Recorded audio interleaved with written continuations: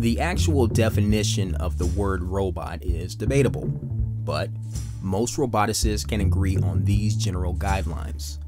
A robot is an intelligent, physically embodied machine. A robot can perform tasks autonomously, and a robot can sense and manipulate its environment. It was in the 1960s that a Silicon Valley company developed the first thing resembling what we now considered a robot.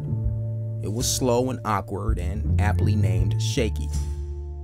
Since then, companies like Agility Robotics, Boston Dynamics, and government agencies like DARPA have engineered exponentially more advanced robots capable of some incredible things.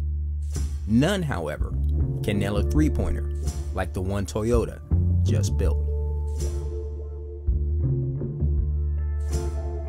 In a recent demonstration for the Associated Press, Toyota's 6'10 robot called Cue3 put on an impressive display of three point shooting.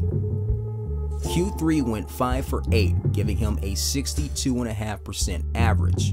To put that in perspective, the NBA Steph Curry has a lifetime average of 43.6% from behind the arc. Now, before Nike comes knocking at Cue3's door, it's important to point out the robot can't run or even dribble for that matter, but it does signify an important milestone in the complexity of tasks robots are now capable of accomplishing. For kids all over America, hitting a jump shot is one small step. In robotics, it's one giant leap for mankind.